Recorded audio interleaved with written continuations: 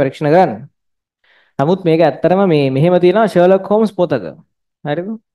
Sherlock Holmes පොතක තියෙනවා යම් ගමක් තිබුණලු ඒ ගමේ ඉන්න මිනිස්සු අනිවාර්යයෙන්ම අනිත් ගම් වලට සාපේක්ෂව අඩු ආයු කාලයක්ලු ජීවත් වෙන්නේ සහ අවුරුදු 30 40 වෙනකොට මේ මිනිසුන්ට ලෙඩ හැදෙන්න පටන් ගන්නවලු.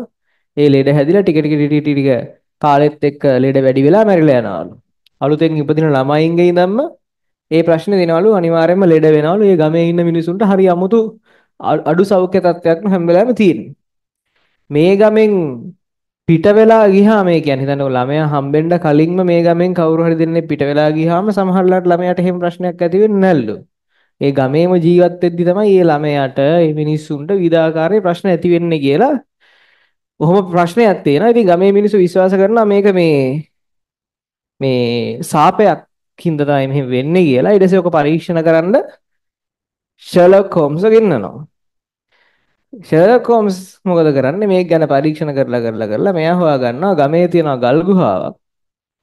මේ ගුහාවේ තියෙනවා මේ ගුහාවක් තියෙන ඒකේ තියෙන අමුතු මේ පාෂාණ වර්ගයක්.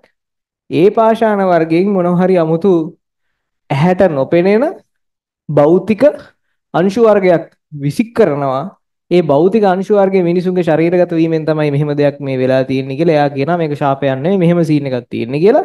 එයා ඒක හොයාගෙන එයා ඒ පරීක්ෂණේ මාරි කියුරියට බාර දෙනවා කියලා තමයි මේ පොතේ තියෙන්නේ. කියන්නේ එයා ඒක හොයාගෙන එයාට ප්‍රසිද්ධ වෙන්න අකමැති හින්දා මාරි කියුරියට කතා කරලා මෙන්න මේන් බලහක්කෝ කියලා හරිද? පරීක්ෂණේ බාර දෙනවා කියලා තමයි ෂර්ලොක් හෝම්ස් පොතේ තියෙන්නේ.